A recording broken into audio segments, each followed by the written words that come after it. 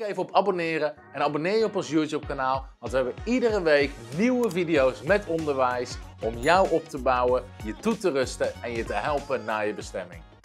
Iedereen die nu ingetuned is, van harte welkom bij een nieuwe serie van Voice of Faith. We gaan het hebben over de kracht van Office. En ik ga vanavond ga ik een heftig thema bespreken, maar ook een krachtig thema, namelijk verkeerde offers in Gods huis. Verkeerde offers in Gods huis. En ik wil een uh, tekst gaan lezen. Ik ga zo meteen uitleggen waar we het precies over gaan hebben deze week. Volgende week wil ik er ook verder op ingaan. Um, ik wil eerst even een tekst gaan lezen. Het is een beetje een ingewikkelde tekst. We kunnen hem even van boven meelezen. Het is geen hele makkelijke tekst, maar wel een goede tekst om mee te beginnen. En daarna wil ik nog een tekst lezen uit 1 Kronieken 29. En dan gaan we uh, het onderwijs in. Deze tekst staat in Leviticus 10, vers 1. Het is een beetje een vreemde tekst voor veel mensen. Maar daar staat dit in Leviticus 10, vers 1. De zonen. Oh, even kijken dat moeten we even goed doen. Zo. De zonen van Aaron, uh, Nadab en Abihu namen beide hun wierookschaal, deden vuur daarin en legden het reukwerk als een offer daarop en brachten vreemd vuur voor het aangezicht van de Heer, wat hij hun niet geboden had. Ze gaven een offer wat niet in de voorschriften stond van God, wat ze zelf verzonnen hadden. Dan staat er, toen ging er een vuur uit van het aangezicht van de Heer en het verteerde hen, zodat zij stierven voor het aangezicht van de Heer. En Mozes zei tegen Aaron, dit is wat de Heer gesproken heeft. In hen die tot mij naderen, zal ik geheiligd worden en voor de ogen van heel het volk zal ik geëerd worden. Nou, dat is de tekst uit Leviticus 10, vers 1. En het is een bijzonder verhaal waarin de vuur uit de hemel komt en de priesters, de zonen van Aaron, verteert in de tempel. En die vallen daar dood neer, die vallen daar verbrand neer. Nou, wat was er aan de hand in de context? Ik ga er nu niet te diep op in, maar God had hele specifieke instructies gegeven over hoe de priesters zich moesten gedragen, hoe ze moesten offeren, wat de regels waren voor het offeren. En in een van de eerste gevallen doen ze het tegenovergestelde wat God had gevraagd. Ze brachten vreemd vuur voor het aangezicht van God. Ze brachten offers die God niet had gevraagd. Ze gingen het op een eigen manier doen in het heiligdom van God. En het vuur van God kwam uit de hemel en verteerde ze. Nou, dit is best wel een heftig verhaal. Maar het toont aan, het toont even het punt aan. God vindt het belangrijk wat we offeren. God vindt het belangrijk hoe offers gebracht worden. En vanavond wil ik het dus hebben over verkeerde offers in het huis van God. En het is iets waar je weinig onderwijs over hoort, maar wel iets wat ontzettend belangrijk is. En terwijl God heeft in zijn woord zoveel te zeggen over offers. En waar ik vanavond op in wil gaan, en dit zal voor veel mensen wel vernieuwing zijn, ik wil het gaan hebben over negen manieren, of eigenlijk tien manieren van offers ophalen. Tien manieren waarop offers, collectors worden opgehaald in de kerk, waarvan er negen fout zijn en één goed is. Tien manieren waarop de offers opgehaald worden in kerken, waarvan er negen fout zijn, of andere plekken, maar waarvan er één goed is. Daar wil ik het over gaan hebben. En als we het hebben over offeren, dan hebben we het over dat we iets geven aan God, dat we iets brengen aan God. Dat is al een belangrijk iets. In het Nieuwe Testament en in het Oude Testament, ze brachten hun offer aan de tempel. Ze gaven hun offer aan de priester, aan de leviet. Maar het was God in de hemel die het offer ontving. In het Nieuwe Testament is ook zo dat Paulus roept de gelovigen op om te offeren, om te geven aan God. Ondanks dat het hier op aarde ontvangen werd door een kerk of door een bediening, was het een gift die gegeven werd aan God. Zo moesten mensen erover denken. En dat is al heel belangrijk. Dus we hebben het over wat we geven aan God. Dat kan geld zijn. In het Oude Testament waren het ook spullen, was het graan, was het een deel van de oogst. Maar ook in het Nieuwe Testament waren het spullen. Die vrouw die gaf kostbare olie. Eh, er was iemand die gaf een gedekte bovenzaal aan Jezus. Iemand gaf een ezel aan Jezus. Uh, mensen gaven geld, mensen gaven brood, eten, vissen, al die dingen. Dus je kan verschillende dingen kan je offeren, kan je brengen aan God. En vanavond gaan we dus hebben over offers die we ophalen, of offers die opgehaald worden in kerken, waarvan er negen fout zijn, negen manieren die fout zijn, en één is er goed. Nou, in 1 Kronieken 29, dat verhaal wil ik niet uitgebreid lezen, want het is nogal een lang verhaal. Um, maar in 1 Kronieken 29, daar lezen we dat David een offer ophaalt voor het bouwen van de tempel. En uiteindelijk staat er dat alle hoofden van het volk gaven goud, zilver, ze gaven het vrijwillig. En dan bidt David dit gebed, want er komt zo gigantisch veel geld binnen dat de hele tempel betaald wordt. En dan zegt David dit in 1 Kronieken 29, vers 18. Dan zegt hij dit. Heer God van onze vader Abraham, Isaac en Israël, bewaar voor eeuwig deze gezindheid in het hart van uw volk en richt hun hart tot u. In die tijd, het volk was zo vrijgevig dat ze brachten vrijwillig uit eigen bezit goud, zilver, allerlei kostbare dingen. En ze legden met, eh, met, met die mensen, legden ze alles wat nodig was voor de tempel, legden ze bij elkaar. Ze betaalden het hele nieuwe gebouw. En dan bidt David, Heer bewaar voor eeuwig deze gezindheid in het hart van uw volk. Dus dat is een verlangen. En ik vind het zo'n mooi gebed. Heer, bewaar de gezindheid om te offeren, om te geven, om vrijwillig te geven, om uw huis te bouwen in het hart van uw volk. En daarom wil ik deze keer gaan kijken naar de manier waarop, we, waarop offers opgehaald worden. In kerken, bij bedieningen, op conferenties, waar je ook komt. En dat gebeurt namelijk op heel veel verschillende manieren. Maar heel veel daarvan zijn onbijbels en zijn niet goed. En het zijn verkeerde offers in het huis van God. En ik ga je dus uitleggen vanavond waarom dat zo is. Ik ga aan het eind vragen behandelen. Ik zie nu al vragen binnenkomen, maar ik ga aan het eind vragen behandelen. Nou, wat belangrijk is, is dat je door de hele Bijbel heen zie je instructies van de manier waarop mensen aan God moesten geven. Er waren hele duidelijke instructies, er waren hele duidelijke richtlijnen. Het werd heel duidelijk beschreven. Niet alleen in het Oude Testament, ook in het Oude Testament. Vanaf het begin bij Kain en Abel, Abraham, Noach, Jacob, uh, Isaac, Mozes, onder de wet, de profeten, maar ook in het Nieuwe Testament. Jezus gaf onderwijs over offeren, over geven. Paulus, Petrus, Jacobus. Het hele Nieuwe Testament staat vol met instructies en onderwijs over hoe offers gegeven worden, gehoor, te horen gegeven worden aan God. En heel vaak uh, doen, uh, wordt het in samenkomsten wordt het op een hele andere manier opgehaald of gebracht dan wat de wil van God is. Volgende week wil ik het hebben over hoe we offers geven aan God, maar nu over hoe offers ontvangen worden. En je gaat heel veel van deze dingen erkennen. En dus ik ga delen met je tien manieren van offers ophalen, waarvan er maar één juist is. De eerste manier van offers ophalen, die dus fout is. De eerste manier van offers ophalen die fout is, is geen onderwijs geven over offeren en over geven. En ik kan je. Uh, er zijn zoveel plekken waar ik kom, maar ook waarvan ik weet dat er nooit onderwijs gegeven wordt over geven, over offeren, over wat je brengt aan God. Het is een onderwerp waar mensen zich voor schamen en wat ze mijden. En waar ze dus niks over durven te zeggen. Soms omdat ze bang zijn voor kritiek of wat de reden ook mag zijn. Maar het is niet goed om er geen onderwijs over te geven, omdat de Bijbel er zo ontzettend veel onderwijs over geeft. Je zit ergens in een dienst, in een samenkomst, op een conferentie, wat dan ook, en in één keer uit het niks komt, wordt er in één keer een collectemand doorgegeven, komt er in één keer een geefslide op de beamer. Um, in één keer is daar de gelegenheid om te geven. Er wordt niks over gezegd. Uh, er wordt geen onderwijs over gegeven. Ze leggen mensen niet uit waarom offeren belangrijk is, wat het achter zit, wat de Bijbel erover zegt. Er komt alleen maar in één keer een collectemand langs. Waardoor soms nieuwe mensen denken, die niet bekend zijn met het geloof, die hebben eigenlijk totaal geen idee wat er gebeurt of waarom er gegeven wordt. En weet je, dit is niet goed.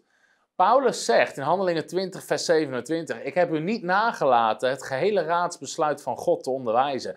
Ik heb jullie niet nagelaten alles wat ik weet over God, over Gods woord te onderwijzen, zegt hij tegen de gemeente in Efeze. In andere woorden, iedere voorganger, iedere prediker, iedere bediening, iedere kerk heeft, het, heeft de opdracht om het hele woord van God te verkondigen. Om, en niet dingen daaruit te laten om, omdat ze nou misschien niet gewend zijn of omdat ze dat onwennig vinden. En ik hoor het van heel veel mensen dat ze het onwennig vinden.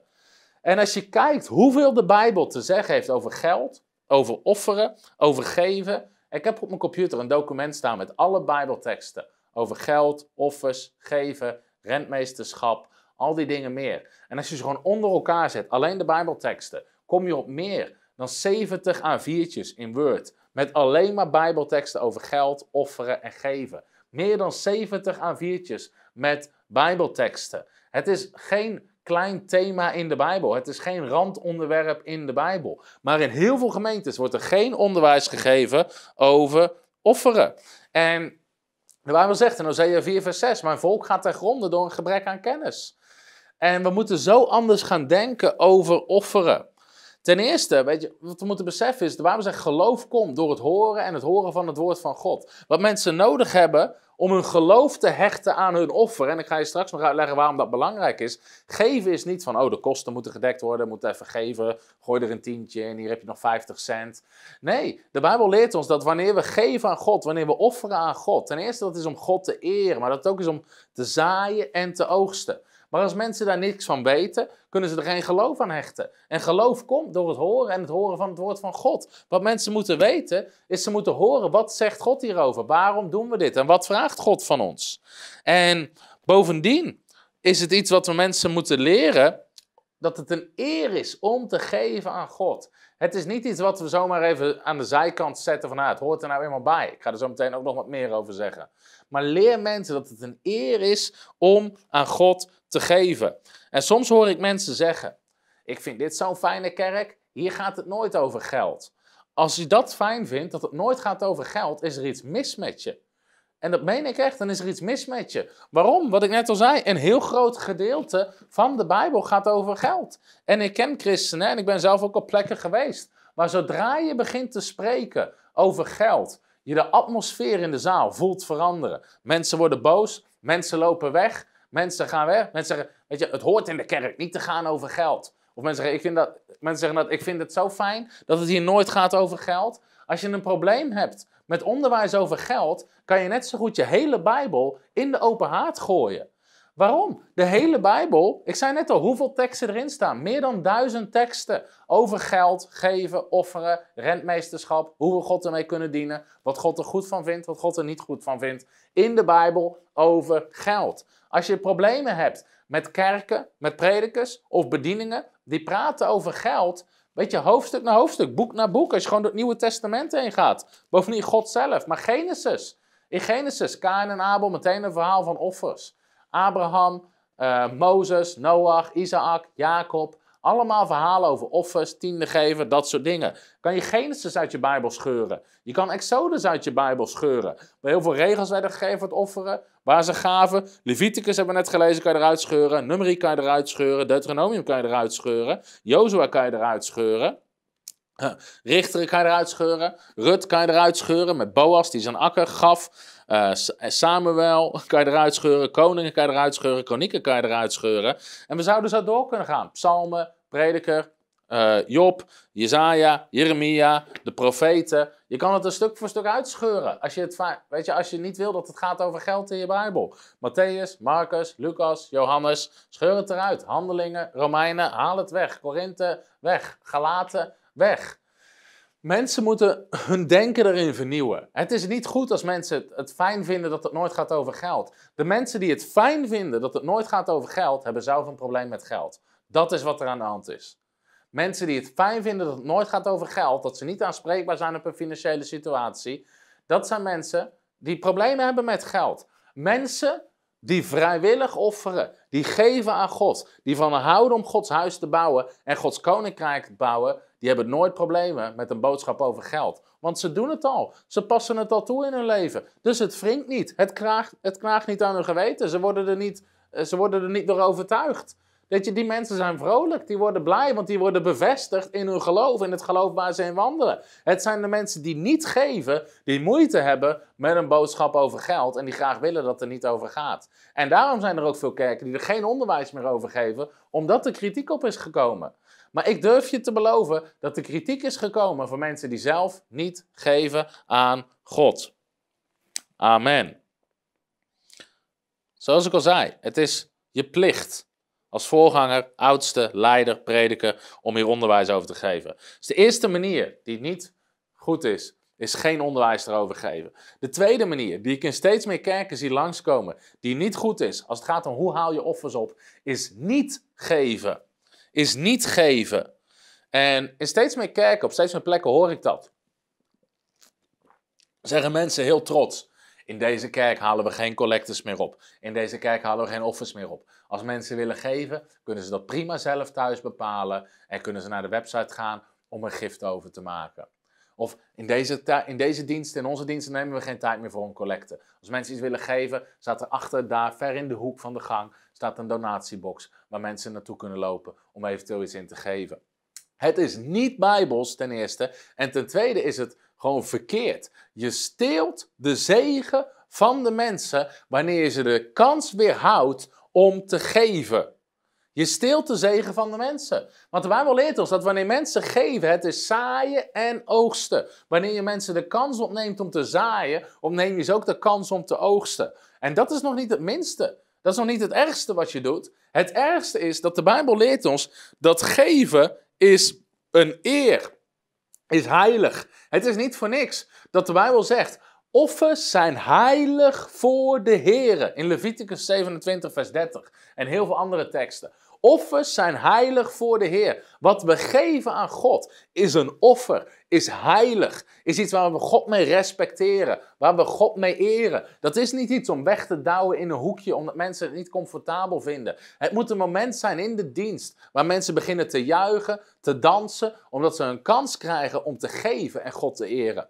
Mijn vrouw heeft een bijbelschool gedaan in het buitenland. En iedere zondag dat daar offers werden opgehaald. En ze kondigden aan, we gaan offeren aan God. Begonnen mensen te applaudisseren. Ze begonnen te juichen. Ze begonnen te dansen. Ze begonnen hun gift te geven. En ze brachten het naar voren. En dansend gaven ze, blij gaven ze die gift aan God. Waarom? Mensen zagen het, halleluja, hier is mijn kans om God te eren met iets wat ik deze week heb verdiend of deze week heb gekregen.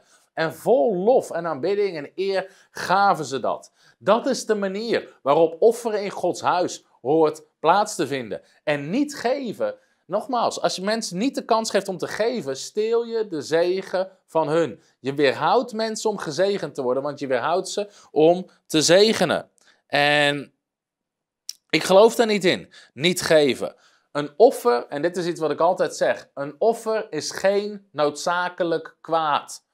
Een offer is niet zo, nou, het, uh, weet je, het is dat we geld nodig hebben, dus het moet maar, maar eigenlijk doen we het liever niet. Een offer is geen noodzakelijk kwaad. Een offer is heilig voor de Heer. Het is iets wat God heeft ingesteld. Het is een instructie vanuit Gods woord dat we komen met ons bezit en we geven het aan God. We geven het aan God. Vereer de Heer met je bezit. Met de eerstelingen van je opbrengst. Spreuken 3 vers 9. Vereer de Heer met je bezit. Het moment waarin we komen om God te eren. Het is een moment in een dienst, in de samenkomst. En ook onder het Oude Testament en het Nieuwe Testament, mensen gingen naar de samenkomst, gingen naar de gemeente toe en brachten hun offers in het huis van de Heer.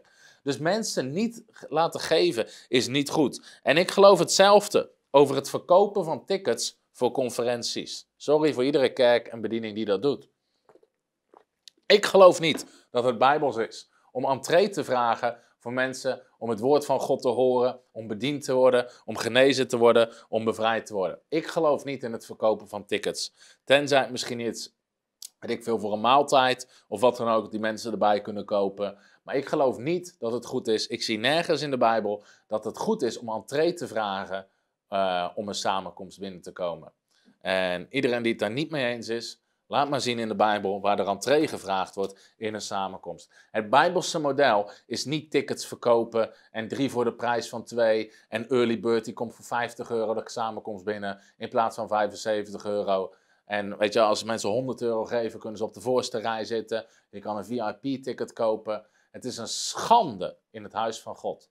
Het is een schande in het huis van God wanneer we entree gaan vragen voor mensen om het woord van God te horen, om bediend te worden, om gebed te ontvangen. En ik geloof daar absoluut niet in. Wat is Gods model? Is offeren. Mensen komen, mensen komen vrijwillig en krijgen daar de kans om iets te geven waarvan God hen mee gezegend heeft. Krijgen de kans om God te eren, krijgen de kans om te zegenen. Dat is het Bijbelse model. En niet het verkopen van tickets voor samenkomsten of conferenties. Zodra je tickets moet gaan verkopen om je samenkomst te financieren, is er iets mis met het model van bediening wat je hanteert.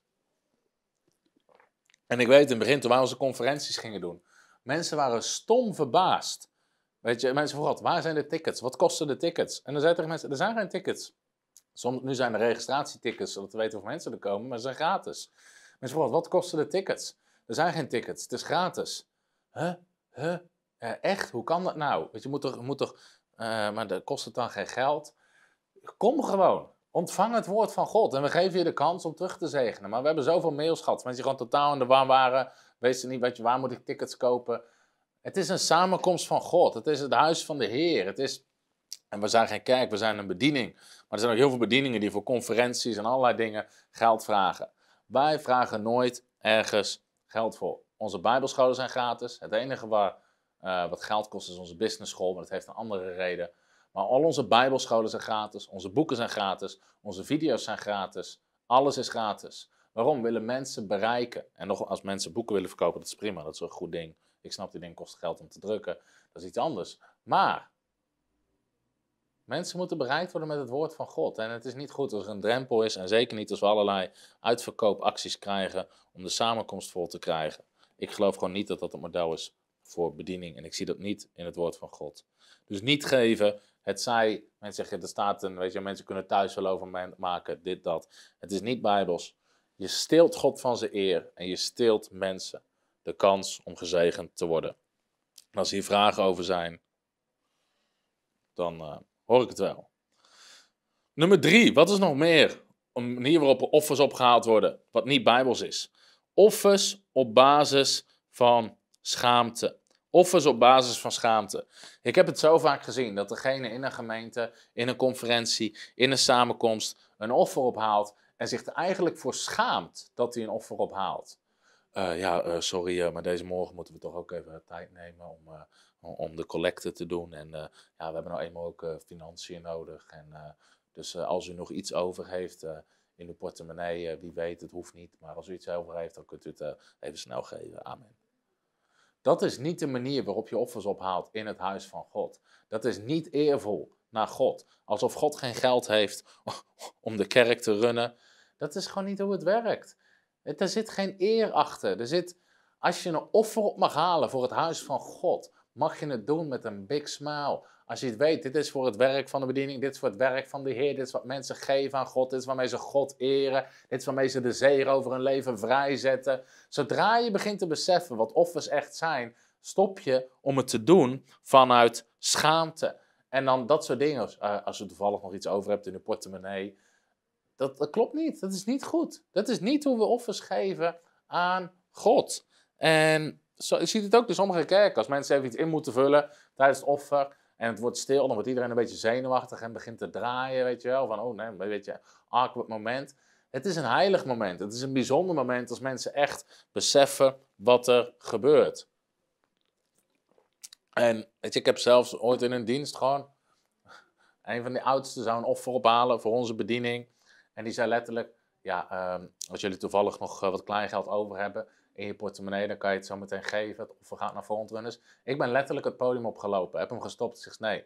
Zeg, zo gaan we geen offer ophalen. Dit is niet hoe we geven aan de Heer. Het is niet als je wat kleingeld over hebt in je portemonnee, kan je het geven. Nee, mensen beseffen wat je geeft. Geef je aan God. Geef je aan zijn koninkrijk. Doe het zoals de Bijbel zegt. Geef iets wat God eert voor jouw situatie. Dat is de manier. En besef met wat jij geeft, eer je God en zaai in een zaad. En dat is hoe je een offer geeft. En niet of dat je nog toevallig 2 euro en een jumbo-munt en een paperclip in je portemonnee hebt. En dan denkt, oh, nou dat kan wel naar de Heer. Dat is niet hoe het werkt in het koninkrijk van God. Schaam je niet om offers op te halen. Mensen die soms dienstleiding hebben, oudste zijn, prediker zijn, voorganger zijn. Schaam je niet om offers op te halen. Het is een eer in Gods huis. Het is een moment waarop God aanbeden wordt. Het is onderdeel van de aanbidding. Mensen zouden moeten juichen, zouden moeten klappen op het moment dat het offer opgehaald wordt. En zeker als je bedenkt, mensen geven heel de week hun geld uit aan van alles en nog wat. Ze geven geld aan de supermarkt, aan de Chinees, aan de sportschool, aan kleding, bij de HEMA, bij de kruidvat, bij de kringloop. Weet ik van waar mensen allemaal heen gaan. Heel de week geven ze overal hun geld naar uit. Heel de week brengen ze offers. In de kroeg, in de sportschool, in de frietent. Overal geven ze offers. Op het moment dat in het huis van God, daar moeten we het beste geven wat we hebben om God te eren. Weet je, als mensen geld uit kunnen geven aan domme dingen, zoals tuinkabouters van 80 cent bij de Action, En weet ik, hebben tegenwoordig van die potjes die zijn hype met, staat op, op essentiële oliën. Nou, zo essentieel zijn ze niet. Mijn opa is 86 geworden zonder die dingen. Mensen geven geld uit aan domme dingen. Op het moment dat je mensen kans geeft om te geven aan de Heer, is dat een eer, is dat een voorrecht waar mensen, dat mensen moeten pakken. En waar je dus onderwijs over moet geven. Het probleem is, mensen moeten offers ophalen op basis van schaamte, denken ze, omdat er nooit onderwijs over gegeven wordt. Omdat ze niet weten wat de Bijbel erover zegt. Een andere manier van offers ophalen, waarvan ik dus geloof dat het niet bijbels is, is wat ik noem sociaal geaccepteerd geven. Sociaal geaccepteerd geven. Het is goed, laat me dat vooropstellen, om te geven aan armoedehulp, um, voedselbank, dat soort dingen. Het zijn goede dingen om aan te geven. Maar wat ik soms zie gebeuren, is in de kerk dat ze wanneer ze geven, wanneer een offer, een collecte gaat naar, een, uh, naar armoedehulp, dat ze dan zeggen, dit, offer gaat geheel naar de armoedehulp. Dit geld gaat niet naar de prediker. Dit geld gaat niet naar de kerk. Dit is alleen maar bestemd voor de voedselbank. En in één keer gaan de offers gaan keihard omhoog. En mensen denken, oh nou, nou, dan is het mooi, dan is het mooi. En in één keer wordt er heel veel gegeven. En dan wordt een soort excuus gemaakt. Nou, dit is niet, dit is niet voor de kerk, dit is niet voor de, voor de bediening. Dit is echt, echt alleen maar daarvoor. En zeggen mensen, als u dan geeft, hou in gedachten dat we arme gezinnen voeden. Wat mensen moeten leren is het evangelie van Jezus Christus is waardig om aan te geven. Toevallig hoorde ik van de week nog een voorganger zelf zeggen, had het zelf op Instagram gezet. hij zei wanneer we offers ophalen voor organisaties zoals Compassion, zoals, en dat is wat prachtig is. Nogmaals, het zijn prachtige organisaties, we steunen ze zelf ook. Het zijn prachtige organisaties. Hij zegt, en weet je, en er zijn dit offer gaat naar Compassion en dit gaat naar de armoedehulp. Dan bam, gigantische offers. Maar als er gewoon een offer opgehaald wordt voor het huis van God of een evangelisatiecampagne, moet er soms veel, veel harder aan gesleurd worden, om het zo maar te zeggen, voordat het geld binnenkomt. Wat mensen moeten beseffen is het evangelie van Jezus Christus is het grootste voorrecht om aan te geven. Het evangelie van Jezus Christus, waardoor zielen gewonnen worden, mensen worden gered, vergeven, genezen, bevrijd, mensen worden hersteld, het koninkrijk van God, mensen worden gediscipeld. Het is het grootste voorrecht om aan te geven en het is het enige wat eeuwigheidswaarde heeft. Het enige wat eeuwigheidswaarde heeft, zijn de zielen die gered worden, de mensen die gediscipeld worden en daardoor het koninkrijk wat verspreid wordt. Dat is wat waarde heeft in de eeuwigheid. Dat is wat waarde heeft in de eeuwigheid. Zoek eerst het koninkrijk van God. Zet het koninkrijk van God op de eerste plek. En dat zou ook zo moeten zijn in ons geven. En zodra er offers opgehaald worden, met het doel gewoon om het evangelie te prediken, met, met het koninkrijk te bouwen, zouden mensen moeten staan te juichen. Want het is het grootste voorrecht waar je je geld aan kan geven. Sommige mensen kunnen, kunnen kilo's kip eten van de Chinees, bami schijven, nasi, ze vinden het geen probleem om met familie, vrienden, kopen voor 120 euro Chinees eten. Ze kopen lekkere wijn, ze kopen lekker dit, ze kopen allerlei hapjes. Gewoon voor een barbecue met vrienden zijn ze soms een paar honderd euro kwijt. Het is allemaal geen probleem. We gaan op vakantie voor een paar duizend euro. We kopen een nieuwe auto voor 15.000 euro. Nieuwe meubels voor 10.000 euro. Aanbouw achter het huis, 30.000 euro. Maar zodra het aankomt in het huis van God, uh, uh, wat zullen we doen? 10 euro? Dat is niet goed. Dat is niet goed. Ik heb besloten het grootste geldbedrag wat ik ga besteden in mijn leven. Dat is niet alleen wat ik besloten heb, wat we nu doen. Het grootste geldbedrag wat ik besteed is niet aan een auto, is ook niet aan een huis, is niet aan een vakantie, maar is in het koninkrijk van God, is in zielen, is in eeuwigheidswaarde. Zet het koninkrijk van God op de eerste plek. En al die andere dingen worden je erbij gegeven. Maar mensen moeten beseffen, het evangelie is waardig om aan te geven. Het is waardig om aan te geven. Dat is iets wat iedereen moet weten. Dus offers op basis van sociaal geven. Nummer 5. Hoe vaak ik deze niet ben tegengekomen. Offers of geven op basis van wederdiensten. Wie wil ons sponsoren op de zendingsreis? Je kan stroopwafels kopen. Drie pakken voor 15 euro. Twee voor 12 euro. Mensen verkopen stroopwafels, pepernoten, oliebollen. Ze rennen marathons, ze wassen auto's, ze verkopen loten. Dat is niet een bijbelse manier van geven. En dan zeg ik het nog netjes. Jezus ging niet rond met een bolderkar, met stroopwafels en de discipelen erlangs. Eerst door Galilea heen, aan iedere deur. Hallo, ik ben Jezus Christus, de Zoon van God. God heeft me gestuurd om, uh, ja, om aan de armen het evangelie te verkondigen, te verbinden, de verbrokenen van hart. Maar u begrijpt, zo'n bediening kost geld. Wilt u stroopwafels kopen? We hebben nu een aanbieding. We hebben drie pakken stroopwafels voor twee drachmen. Maar u kan er ook één kopen voor één drachmen. Nee, dat is niet hoe Jezus rondging. Peter, Jezus verkocht geen stroopwafels, geen pepernoten. Jezus stond niet zijn twaalf discipelen uit. Hij zei, Petrus, Jacobus, Johannes, als jullie nou eerst een marathon doen rond het meer van Galilea en vragen aan honderd mensen om jullie te sponsoren voor, uh, weet ik wat, ze, wat voor andere munten en heden ze toen hadden, voor, uh, voor vijf schellingen. Hè, vijf schellingen per ronde en dan proberen we een perspersoon drie rondes te lopen. En dan wisselen we af met de twaalf, een soort estafette. En dan hoop ik uiteindelijk dat we weet ik veel, dat we een paar duizend binnenkrijgen. Dat is niet hoe het werkt. En dat is iets wat je heel veel ziet. Een donatiementaliteit in het koninkrijk van God. Voor wat, hoort wat. En dat is niet hoe het koninkrijk van God betaald hoeft te worden. En voor de mensen die nu intunen, onze gebedslijnen zijn open. Dus het nummer komt in beeld als je gebed nodig hebt om je van deze mentaliteit te bekeren. Dat is een grapje. Niet bellen als je nog stroopwafels wil verkopen. We kopen geen stroopwafels meer. Maar als je gebed nodig hebt, even serieus.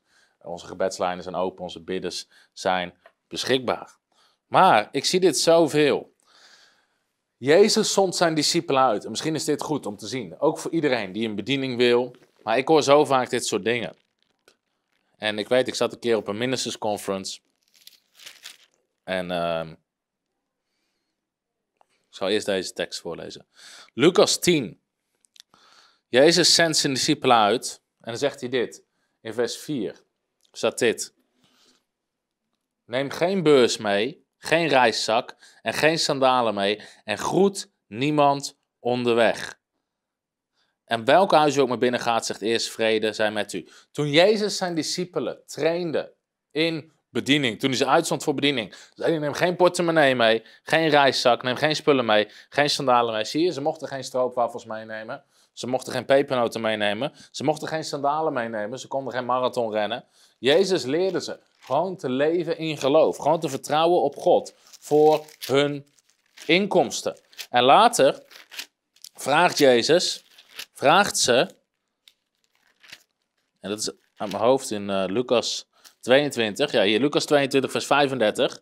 En hij zei tegen hen: Heeft u het? Heeft het u aan iets ontbroken toen ik u uitzond? Zonder beurs, reiszak en sandalen. En zij zeiden aan niets. Aan niets.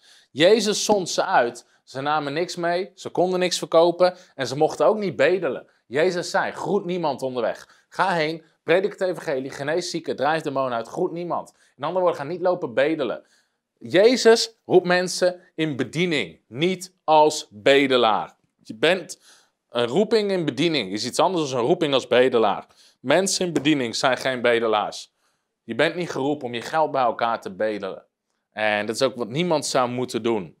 En net zoals dingen als, oh ja, ik zat, ik heb die ministers conference. En op een gegeven moment vroegen ze, weet ik, iemand vroeg van een andere bediening wat we deden. En uh, ze vertelde een beetje wat we deden. Hij vroeg hoe ons team eruit zag. zei hoe ons team eruit zag. En uh, hij hoorde hoeveel mensen we in dienst hadden. En die zei, hebben al die mensen een thuisfrontcomité? Ik vroeg, een wat? Hij zei, een thuisfrontcomité. Ik zeg, wat is een thuisfrontcomité? Nou hebben ze allemaal geregeld dat hun vrienden, kennissen, familie en buren hun sponsoren om bij jou te werken. Ik zeg, nee, natuurlijk niet. Mijn broertje die werkt bij bol.com, die heeft ook geen thuisfrontcomité. Die heeft mij ook niet gevraagd of ik hem wil helpen om bij bol.com te werken. Hij zegt, maar hoe doen jullie dat dan? Ik zeg, wij betalen gewoon met de bediening hun salarissen. Ja, maar, ja, maar dat kan toch niet zonder thuisfrontcomité? Ik wist niet eens wat een thuisfrontcomité was. Als wij mensen aannemen, zijn wij verantwoordelijk om een salaris te betalen. En als we doen wat God wil, is Hij verantwoordelijk om de salarissen te betalen. Maar er zit zo'n raar... Jezus zei niet, toen hij zijn twaalf discipelen riep... Jongens, ga eerst even langs je vrienden, je buren, je familie, je kennissen en de mensen uit je kerk. Zorg dat je een thuisfrontcomité hebt. Zorg dat je allemaal minimaal zoveel mensen hebben die 15 euro in de maand willen overmaken. En dan pas kunnen we gaan in bediening. Nee, nee, nee, nee, nee. Dat is niet hoe het werkte. Iedereen in bediening moet leren om God te vertrouwen voor voorziening. En iedereen moet leren dat hij niet geroepen is als een bedelaar. Ik heb ooit een preek gehoord van een voorganger, en was in het Engels. En die zei: Kings don't beg. Je bent geroepen als een koningskind. En koningskinderen bedelen niet. Bedelen hoort niet bij een kind van de koning. Je dient de Vader, je dient de Heer. Hemel en aarde zijn van Hem. Alles is van Hem. En als alles van Hem is, hoef je niet te bedelen om ook maar iets. Dat is wat het is. En als mensen mij vragen of ik een pak stroopwafels wil kopen voor 15 euro. Nee, dat zijn de duurste stroopwafels die ik ooit op heb. Op het moment dat je een hap erin zet, is het al niet meer leuk. Dan denk je, man, deze hap kost een euro. Als ik stroopwafels koop voor 15 euro, wat heb ik teruggekregen voor die 15 euro? Een zak stroopwafels. Maar als ik 15 euro zaai in het koninkrijk zonder daar iets van terug te krijgen voor die persoon, is het een zaad geweest wat 30, 60, 100voudig vrucht kan dragen. Dus in één keer kan die 15 euro kan 1500 euro worden. Maar dat kan alleen als ik het saai, niet als ik er iets voor koop. En daarom geloof ik er niet in. Het is niet de Bijbelse manier om een bediening te financieren, om een kerk te financieren. De Bijbelse manier is offers ophalen en zaaien en oogsten. God heeft een systeem. En daar ga ik andere keren wat dieper op in. Waardoor mensen geven, maar er blijft meer naar hun terugstromen. Het is zaaien en oogsten. Zaaien en oogsten. God heeft een systeem. Jij geeft aan hem, hij geeft aan jou. Jij geeft aan hem, hij geeft aan jou. Zaaien, oogsten, zaaien, oogsten. En je wordt een stroom van zegen. En je kan geven en geven en geven. Je kan uitdelen, want er is een stroom van God naar jou toe. En je kan geven en geven en geven. En dat is het plan van God voor iedere christen. En ik ervaar daar toch nu iets over te zeggen, omdat heel veel mensen hebben een beperkt beeld. En in 2 Korinthe, ik zat ooit op een conferentie ergens en er waren drie diensten per dag en iedere dienst hadden ze een offer op. En op een gegeven moment zei een van de mensen naast mij, hij zei, hm, je kan toch niet drie keer per dag geven in het offer? En toen hij dat zei, raakte ik geïrriteerd in mijn geest. En toen dacht ik, dit is niet wat de Bijbel zegt. Ik wist meteen, ja, hij zit ernaast, dit is niet wat de Bijbel zegt. De Bijbel zegt dat het Gods plan is dat je zo gezegend bent dat je drie keer per dag gewoon kan geven in het offer en kan geven wat je wil. Want Paulus onderwijst dit over zaaien en oogsten. zegt hij in 2 Korinthe 9, vers, uh, vanaf vers 6 zegt hij dit. Ik zeg u, wie karig zaait, zal karig oogsten. In andere woorden, wie weinig zaait, zal weinig oogsten. Maar wie zegenrijk zaait, wie veel zaait, zal veel oogsten. Laat ieder doen zoals hij zijn hart voorgenomen heeft. Niet met tegenzin of met dwang, want God heeft de blijmoedig gegeven lief. En God, staat er dan, is bij machten. God is in staat. Elke vorm van genade. En kunnen geven is genade, is een vorm van genade. Overvloedig te maken in u. Zodat u wanneer u in alles, altijd, al het nodige bezit, overvloedig kunt zijn in elk goed werk. Het plan van God is dat jij in alles, altijd, al het nodige bezit om overvloedig te kunnen zijn in elk goed werk. Het plan van God is niet dat je hoeft te kiezen. Soms zeggen mensen een partnerschap op, een partnerschap voor 6 euro. En zeggen ze, ik heb besloten om iets anders te gaan ondersteunen. Ik heb nog nooit een partnerschap opgezegd. Ook niet toen we heel weinig hadden. Bij, uh, en toen we begonnen in bediening hadden we heel weinig. Maar we vertrouwden op God en God heeft ons altijd gezegend. Maar zelfs toen we heel weinig hadden, als ik een andere bediening ook wilde ondersteunen, ging ik niet, weet je, iets anders stoppen. Is geen geloof. Ging, zodra ik een ander ook wilde ondersteunen, ging ik in geloof staan voor meer zaad om te zaaien. Niet hier minder geven en daar meer. Dan zeg ik, Heer, ik wil daar ook zaaien. U zegt in uw woord, staat ook in deze tekst, u geeft zaad aan de zaaier. Ik ben een zaaier, ik vraag u om zaad. Ik heb nog nooit een partnerschap gestopt, omdat ik iets anders ook wilde. Ik deed er altijd extra bij. Want dat is het plan van God. Dat je gewoon kan delen en delen en delen. Dat je niet hoeft te kiezen, maar dat je altijd in alles, al het nodige bezit om overvloedig te kunnen zijn in elk goed werk. Dat is goed nieuws. Gods wil is dat je kan geven en geven en geven en geven en geven en geven en geven. Omdat zijn zegen in jou stroomt en stroomt en stroomt en stroomt. Dat is het plan van God voor je financiën. En ik weet dat ze dat op niet veel plekken prediken, maar dat is wel wat het is. Je bent geroepen om een zegen te zijn. Geroepen om een zegen te zijn. En weet je, mensen die ik weet wat het is om te starten met niks. Maar ik zeg altijd, ik ben met niks begonnen. En dan kan je ook niks kwijtraken. Toen wij begonnen, soms vragen mensen mij, wat heb je nodig om te starten met een bediening? En dan kijken ze naar wat we nu hebben. Toen wij begonnen, we hadden helemaal niks. Ik was klaar met HBO. Ik had, ik had geen cent. We hadden net onze bruiloft. Onze bruiloft. Op de dag zelf kwam de ceremoniemeester. We moesten het eten betalen van de bruiloft. Ze zegt, ik heb geen geld meer. Ik zeg, trek de envelop open van de cadeaus. Betaal het eten. En dat is de manier waarop we onze bruiloft hebben betaald. God riep me rechtstreeks fulltime de bediening in. Mijn vrouw komt terug uit Engeland. We hadden helemaal niks. En nogmaals, het voordeel met je niks begint, is dat je ook niks kwijt kan raken.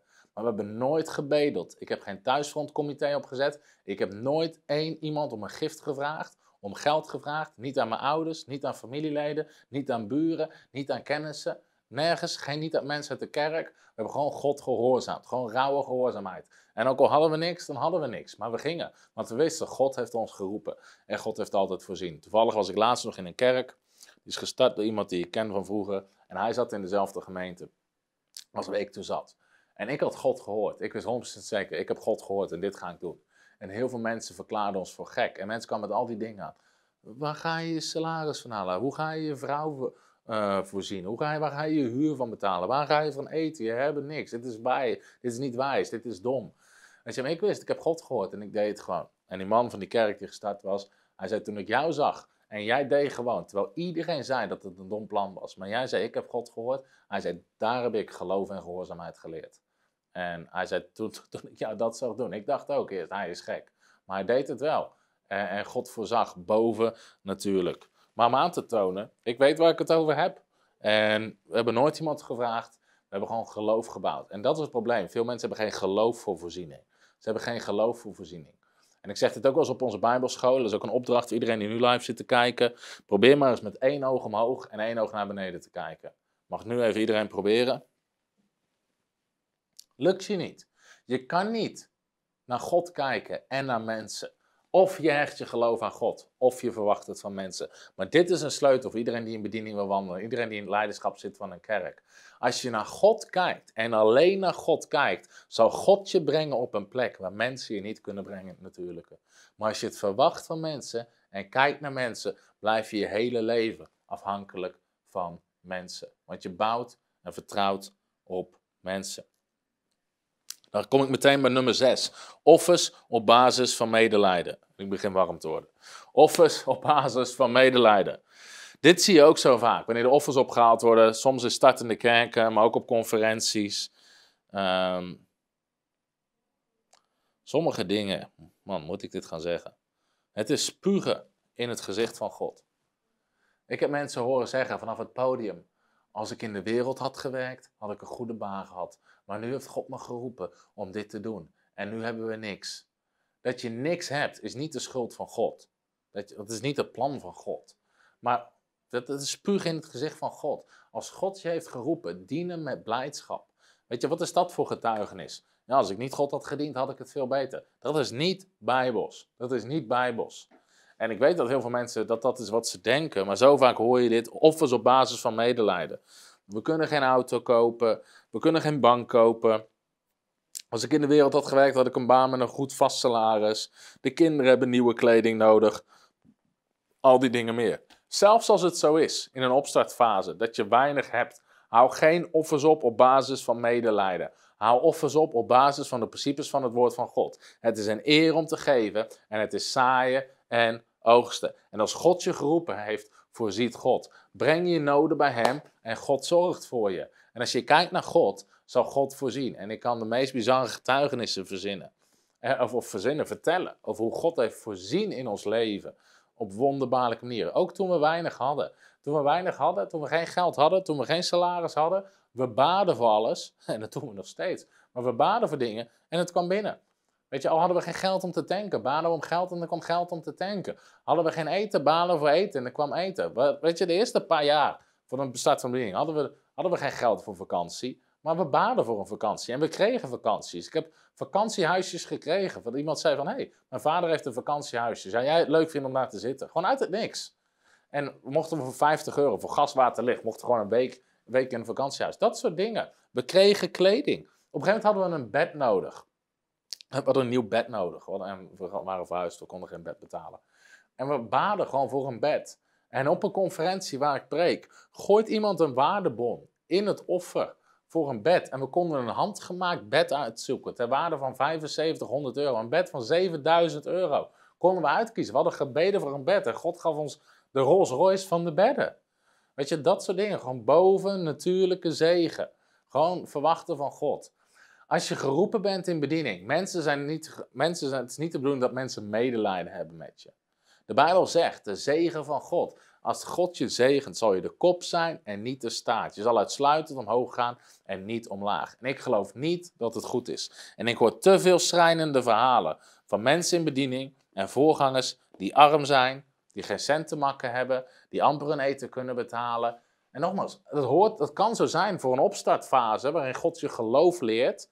Lezen we ook in Deuteronomie hoofdstuk 8. Maar dan nog horen mensen geen medelijden met je te hebben. Wij gaven nooit hintjes van wat we nodig hadden. We dienden God, we baden tot God en God vertrouwden. Gewoon God vertrouwen voor voorziening.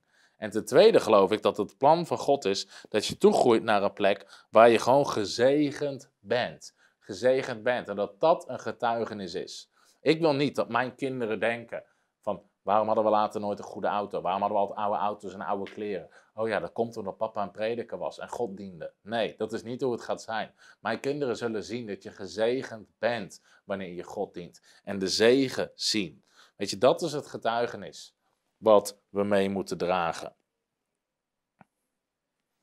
En medelijden geven. Dat is soms wel ook waar mensen van houden. Maken een erg verhaal, een ernstig verhaal, hoe erg het wel niet is. En dan gaan we een offer ophalen. En dat is ook soms wat mensen doen als ze geven. Ik heb zeker in het begin wel eens mensen gehad die zeiden: Ja, ik heb het op mijn hart om je 50 euro te geven. Dan hielden ze zo die 50 euro vast. Maar heb je het wel echt nodig? Heb je het wel echt nodig? Wat ik, wanneer mensen dat deden, wat ik altijd zei, ze: Nee, ik heb het niet nodig. Hier heb je het terug. Koop er maar ijsjes van. Al had ik geen euro op mijn rekening en moest ik eigenlijk eten kopen voor mijn vrouw, dan nog nam ik het niet aan. Want ik weiger het te bedelen uit de handen van iemand. Ik ga niet bedelen. Als je denkt dat, je, dat ik uit je handen ga bedelen, stop het op een plek waar het licht nooit schijnt. Maar dat gaat niet gebeuren. Ik ga het niet doen. En dat hoort niemand te doen. En dat is ook niet de manier waarop je hoort te geven. Als God het op je hart heeft gelegd, geef het. Maar ga niet een soort fijn gevoel creëren van, oh ja, hij had het echt, echt nodig. Hij had het echt, al heeft hij het helemaal niet nodig. Al kan hij het opstapelen thuis, op zo'n briefje van, op zo'n stapel van briefjes van 50. Als God het zegt tegen je, dan doe je het. Als God het niet zegt, doe je het niet. Of je doet het alsnog om God te eren, want God hoeft niet overal over te spreken. Maar ga niet bedelen. Of mensen zeggen, ik heb 50 euro, ik wil het geven, maar ik wil wel weten wat je ermee gaat doen. Als je het nu geeft, laat ik je meteen zien wat ik ermee ga doen. Dan stop ik het op een plek waar het licht nooit schijnt. Dat is, niet, dat is manipulatie. Ik wil wel weten wat je ermee gaat doen. Sommige mensen die willen controleren, manipuleren, willen je in een soort rol duwen waar, ze hopen dat je afhankelijk bent van hun. En dit gebeurt ook heel veel in Nederland op het gebied van kritiek. Op het gebied van kritiek. En weet je, zeker het begin, als je bediening bent. En nu is het anders, omdat je mensen in dienst, je wordt een grotere organisatie. Maar weet je, in het begin, als je nieuwe schoenen kocht. En dan, weet je, dan kwam je in een kerk en zeiden mensen, zo, zo, nieuwe schoenen. Gaat goed met de giften zeker, gaat goed met de giften. Dat soort snerende opmerkingen maakten mensen. Ik weet ooit, mijn, uh, mijn vrouw die had van haar opa en oma een dagje Snowworld of zo. Via via had ze een dagje Snowworld gekregen. Dus uh, ik hou helemaal niet van sneeuw, niet van skiën. Maar goed, ze wilde naar Snow World, dus uh, we gingen daarheen en ze ging naar snowboarden. Ze was helemaal blij, dus uh, ik van maakte een foto, zette die op Instagram of Facebook. En, en er waren mensen die gewoon serieus boos erop reageerden. Hoe kan je nou van giften op wintersport gaan? Ten eerste was het geen gift. Ten eerste hadden we niet voor betaald. Ten tweede waren we niet op wintersport. En ten derde, al waren we op wintersport. Als dat de mentaliteit is voor jou als donateur, heb ik liever dat je het nu meteen opzegt. Stopt. Iedereen in Nederland mag altijd op wintersport. Iedereen die werkt gaat op wintersport. Maar als mensen voorganger zijn of prediker, hoe kan je nou vergiften? Op, weet je, De tegenovergestelde mentaliteit zou je deel moeten zijn. Je zou mensen moeten vragen: hey, kan je wel op wintersport? Dat is wat je zou moeten vragen aan voorgangers en predikers. En als ze nee zeggen, zou je het voor ze moeten betalen. Dat is de houding die je moet hebben. In plaats van afgunst en gierigheid en mammon, wat mensen dienen en anderen ook in die kleine rol willen duwen. Weet je, soms kom je aan op plekken en dan zeggen mensen: en ik heb een mooie auto, die heb ik gekregen. Dan zeggen mensen tegen me van, uh, zo, zo, hoe kan, weet je, hoe kan je nou zo'n auto betalen in de bediening? En dan zeg ik, jouw auto is duurder. Staat die Fiat van 300 euro van hun daarnaast. Hoezo? Ik zeg, die van mij heb ik gekregen. Het onderhoud heb ik gekregen. Sponsort een garagebedrijf. En een tankpas heb ik van een andere ondernemer gegeven. Die hele auto kost me niets. Wat kost jouw auto? Uh, uh, uh. Weet je, de mensen afgunst in Nederland is zo ontzettend groot. Sommige mensen zeggen, die auto zou je moeten verkopen en aan de armen moeten geven. Jij kan jouw auto verkopen en het geld aan de armen geven. Bovendien, als ik hem, als ik het, als ik als ik mijn auto, of zo'n auto moet je eigenlijk weggeven. Als ik die auto weggeef, dan komt er een veel grotere en veel mooiere terug. Want dat is het principe van zaaien en oogsten. En hebben ze daar ook weer kritiek op. Mensen begrijpen niet hoe het koninkrijk van God werkt. Soms zeggen mensen, als prediker zou je toch alles weg moeten geven. Ik heb acht keer in mijn leven, samen met mijn vrouw, alles weggegeven wat we hadden. Tot de laatste euro. En iedere keer kwam er veel meer terug dan we weggegeven hadden. Dat is het principe van zaaien en oogsten.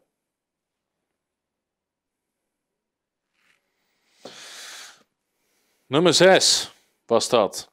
Geven op basis van medelijden. Nummer 7. Geven op basis van noodzaak. We gaan even wat sneller door. Dit zie je ook zo vaak op conferenties, in kerken. En dan zie je hoeveel weten dat het geld kost om de lichten aan te doen, om het pand warm te stoken.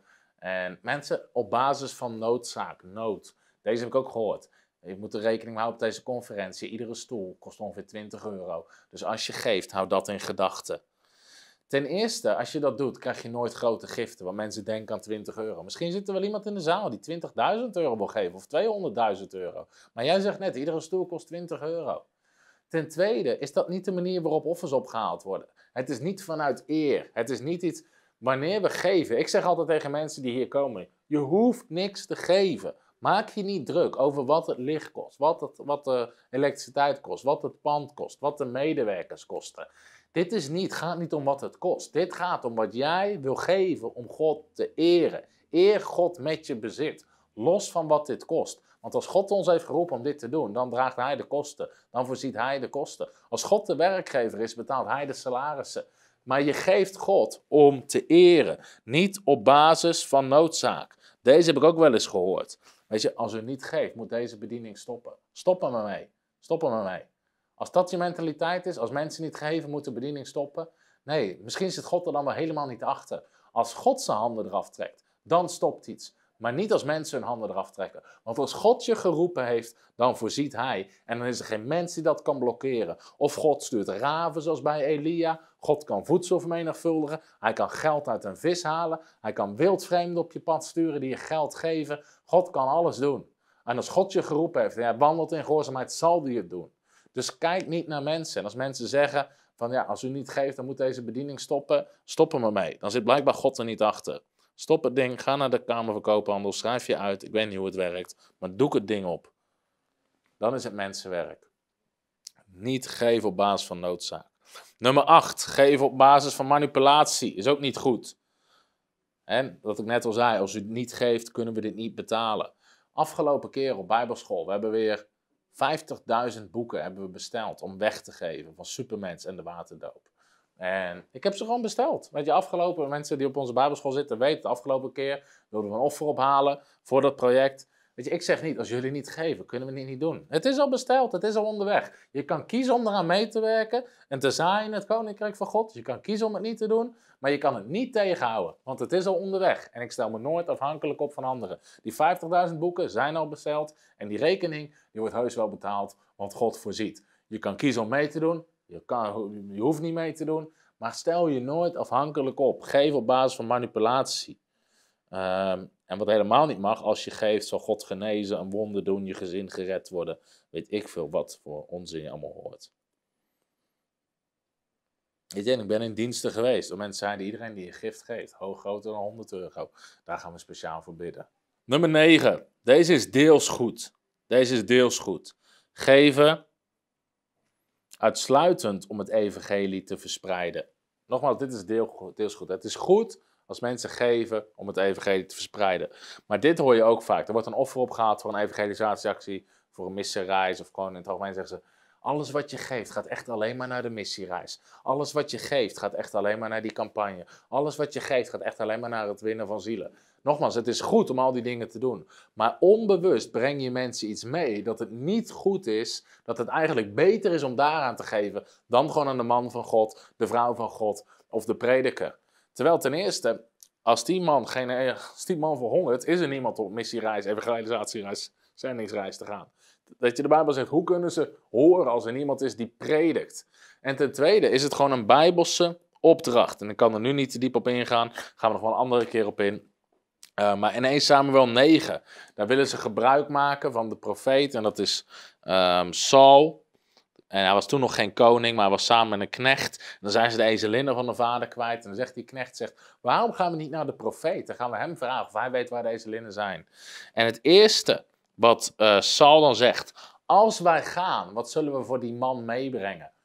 En dan zegt die knecht, we hebben hier een, een stuk zilver. En dan zegt Saul, oké, nu gaan we.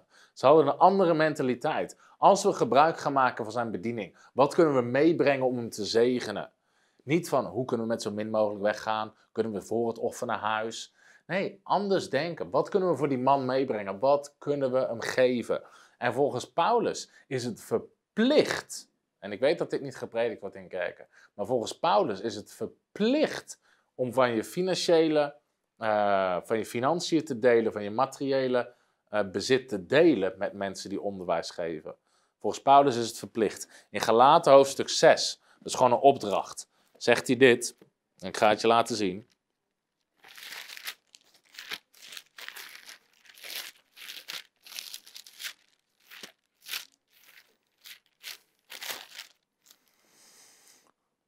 Zegt hij dit. Laat hij die onderwezen wordt in het woord, laat degene die onderwijs ontvangt, in alle goede dingen delen. Een andere vertaling zegt van alle goede dingen delen, of van zijn materiële bezit delen met hen die onderwijs geeft. Met hem die onderwijs geeft. Je mag hem even op laten staan, want Paulus zegt ook in 1 Korinthe 9, daar zegt hij, uh, hier vers 13 en 14, het hele stuk gaat erover. Daar zegt hij, weet u niet dat zij die in de tempel uh, dienst verrichten van het heilige eten. Paulus vergelijkt met het Oude Testament. De mensen die in de tempel, die God dienen, mochten ook eten van de offers die gebracht worden. En dat zij die steeds bij het altaar verkeren, hun deel ontvangen van de offers van het altaar. Dus een deel van de offers wat gegeven wordt, is bedoeld voor de man, de vrouw van God, voor de mensen die werken in de bediening, voor de priesters. Zo heeft de Heer ook met het oog op hen die het evangelie verkondigen, opgedragen dat zij van het evangelie leven. Dus voor Paulus was dit gewoon een regel. En Galaten 6 maakt hier een opdracht van. Dus dat is goed voor mensen om te beseffen. En misschien ga ik daar nog wat dieper op in. Andere keer. Nummer 10. Wat is wel de Bijbelse manier? Dat is zaaien en oogsten. Zaaien en oogsten. En mensen leren dat God. Uh, mensen leren dat ze God eren. Staat de camera goed? Ik dacht dat ik nog op de Bijbel stond. Volgens mij niet, hij staat goed. 10. De Bijbelse manier is zaaien en oogsten. Ik denk dat ik daar de komende keer dieper op inga, ook vanwege de tijd. Maar de Bijbelse manier, Bijbels offeren, is zaaien en oogsten. En laten zien dat wanneer mensen geven, ze God eren. Vereer de Heer met je bezit. Offers zijn heilig voor de Heer. En Paulus zei, wanneer je geeft, houd dit in gedachten. Wie karig zaait, zal karig oogsten. Wie zegenrijk zaait, zal zegenrijk oogsten. Het plan van God is dat je, zo, dat je zaad toeneemt. Dat je zoveel kan geven, dat je in ieder werk kan geven. Dat is het plan van God. God eren, zaaien en oogsten. En in Hebreeën 11 vers 6, dat God is een beloner. En ik zeg dat heel vaak tegen mensen. God is geen berover. God is een beloner. God vraagt niet iets van je om je slechter af te maken, zodat je minder hebt. God vraagt iets van je om je beter te maken, zodat je daarna meer hebt, waardoor je nog meer kan geven. Gezegend om een zegen te zijn. Amen. Als er nog vragen zijn, dan zal ik ze beantwoorden. Dus je kan nu je vragen stellen. Misschien heb je hem al gesteld. Ik kan hem even opnieuw stellen.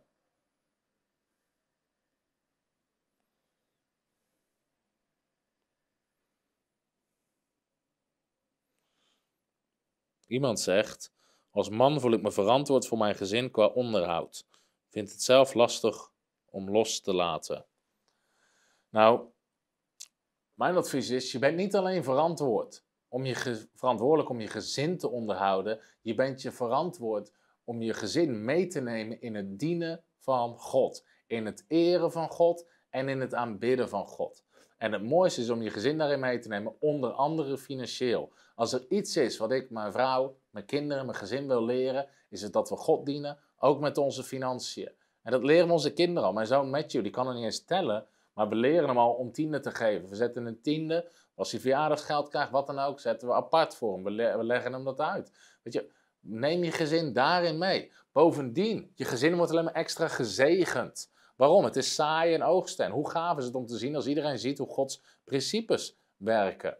En wat verantwoord is voor je gezin, is je gezin onder de zegen brengen. Want Malachi is ook heel duidelijk over wat er gebeurt als we niet geven. Wat daar de consequenties van zijn. Dat we ruimte geven aan de kaalvreter en aan de vloek op ons leven. En dat vind ik ook niet verantwoord voor een gezin. Dus, ik denk dat ik het daar mee beantwoord heb. Het is misschien direct, maar dit is wel wat het is. Je grootste verantwoording als man, als priester voor je gezin, is je gezin meenemen in het dienen van God. Ik het zijn heel veel Bijbelteksten, maar ik zit al uh, meer dan een uur over met, of ik zit al meer, ben al meer dan een uur bezig. Even kijken welke vragen hebben mensen. Even kijken.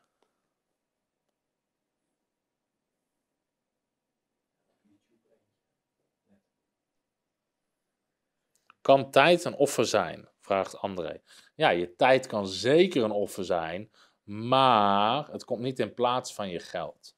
Dus dat hoor ik mensen ook wel zeggen. Ik geef geen geld, ik offer mijn tijd. Ik heb goed nieuws voor je, je hoeft niet te kiezen. En uh, als er nog meer vragen zijn, via YouTube, welke vraag is dat? Van wie?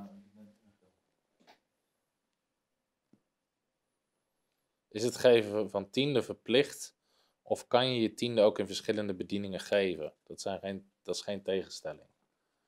Nou, je, tiende, je geven van tiende is geen verplicht. In die zin, er gaat geen engel uit de hemel komen die het geld uit je, van je bankrekening af gaat schrijven. Maar het is een opdracht van God. Het is een opdracht in het hele woord van God. Ik heb een video op YouTube wat de Bijbel echt zegt over tiende. Maar je kan je tiende wel aan verschillende bedieningen geven. Dus dat kan zeker. Iemand zegt, je bent duidelijk, moeilijk om een goede vraag te stellen. Mooi, dat hoor ik graag.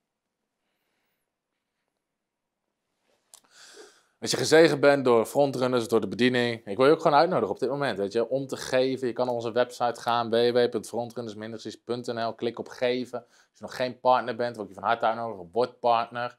En help gewoon, dan bouw je op maandelijkse basis mee koninkrijk te bouwen, mensen tot geloof te komen. We geven gratis boeken weg, we honderden gratis video's. En je bent daar gewoon een deel van met je partnerschap. En um, komen we weer twee gratis, we komen weer twee boeken uit die we gratis weggeven. Maar er komt ook van één boek, Supermens, komt een speciale mooie hardcover editie. Speciaal voor onze partners, gewoon om hun te bedanken. Dus, uh, maar als je ook gewoon wil geven, eenmalig wil geven, of nogmaals, als je wil helpen, met de boekverspreiding. Als je dacht dat we van jou afhankelijk waren, helaas, ben je te laat. Maar als je wel wil meebouwen, als je wil geven aan het verspreiden van die 50.000 nieuwe boeken, ga naar frontrunnersministries.nl, maak een gift over wat in jouw situatie God eert en weet je, wees daar een zaaier in. Zijn er nog meer vragen? Iemand die me uitmaakt voor New Age, een dwaalleraar. Hartelijk bedankt. Jij ook God zegen zijn altijd mensen die zelf heel veel vrucht dragen in hun leven. Heel veel mensen tot geloof komen, bevrijd worden, genezen worden, gediscipeld worden, gedoopt worden. Oh, deze is ook grappig. Ik ga je toch gewoon wat van zeggen. We zijn toch live. Mensen vinden het gewoon leuk. Hier. Ik ben een dwaalleraar op basis van de mijn kleurgesorteerde boekenkast. Koek koek. Daar staan heel veel boeken in. Dat is het doel van een boekenkast, lieverd.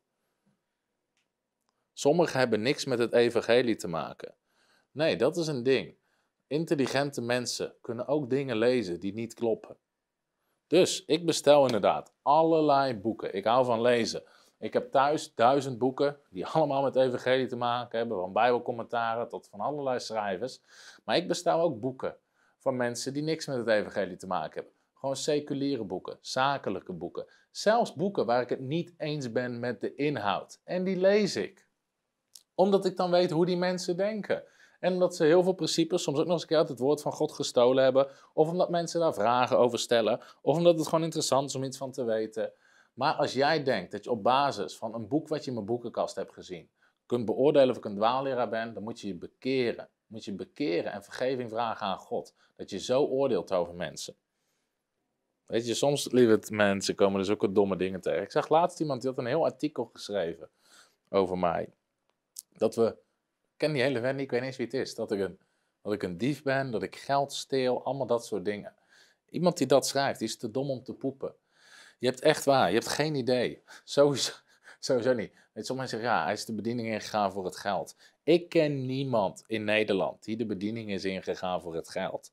Dat gebeurt niet in Nederland. Ik ken helemaal niemand die dat doet vanwege het geld. In Afrika misschien, in Amerika misschien, maar in Nederland heb ik het nog nooit gehoord, nog nooit meegemaakt. Bovendien heb je in Nederland als stichting, als goed is, gewoon een, een geregistreerde ambi-organisatie, waarin je een boekhouder hebt, waarin je een accountant hebt, waar meerdere mensen de rekening kunnen controleren, waar je niet eens een euro naar je privérekening kan overmaken, uh, zonder dat het gecheckt wordt. Weet je, iedere betaling die binnenkomt, moet een boekhouder ergens onderboeken.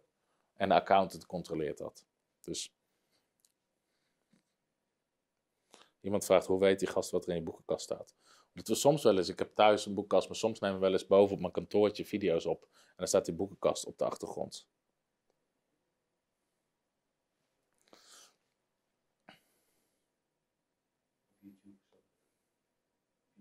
Is er nog op YouTube iets? Even kijken hoor.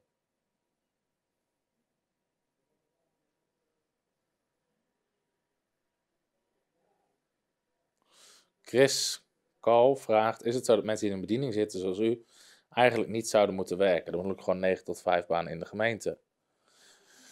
Nou, het is inderdaad niet zo dat die mensen moeten werken. Als God je geroepen heeft voor voltijd bediening, moet je niet werken. De apostelen werkten niet. Jezus werkte niet. Paulus had er een bedrijf naast, deed hij expres. Omdat Paulus legt uit, ik ga constant naar nieuwe gebieden, naar heidenen. En ik wil niks ontvangen van de heidenen. In 1 Korinthe 9 zegt Paulus, ik heb het recht ik zou het recht hebben om vergoeding te ontvangen voor het prediken van het evangelie, maar ik maak geen gebruik van het recht, zodat niemand er aanstoot aan kan nemen.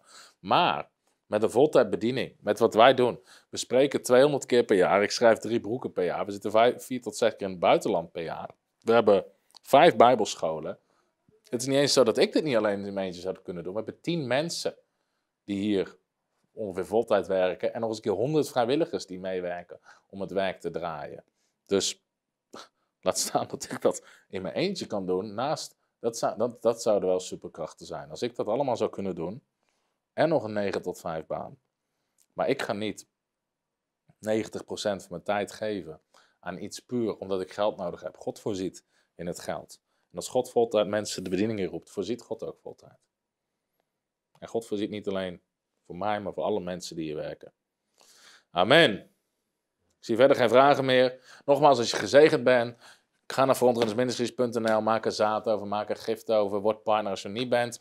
Ook al onze boeken staan gratis, dus uh, alle boeken die ik heb geschreven over genezing, gebed, tongentaal, leven doorgeven. Allemaal gratis. Wees gezegend, God zegen en tot volgende week. Wist jij dat de Bijbel zegt in 3 Johannes 1, vers 8 dat je een medearbeider wordt van de waarheid als je partner wordt van een bediening? Dat is geweldig nieuws, want dat betekent dat wanneer jij partner wordt van Frontrunners, jij mee hebt gewerkt aan de honderdduizenden mensen die wij bereiken en toerusten met het woord van God door onze video's en door onze boeken. Het betekent dat jij mee hebt gewerkt aan de mensen die genezen worden, die bevrijd worden, die gevuld worden met de Heilige Geest. Het betekent dat je meewerkt aan de duizenden mensen die we trainen om te wandelen in hun roeping. Onder andere door onze Bijbelscholen. Al die vrucht en al dat resultaat is ook vrucht van jouw leven als je partner bent. Want je bent een medearbeider geworden. Dat is de kracht van partnerschap. Wil jij ons helpen om nog meer mensen te bereiken en toe te rusten voor Gods Koninkrijk? En deel te hebben aan de vrucht van wat we doen?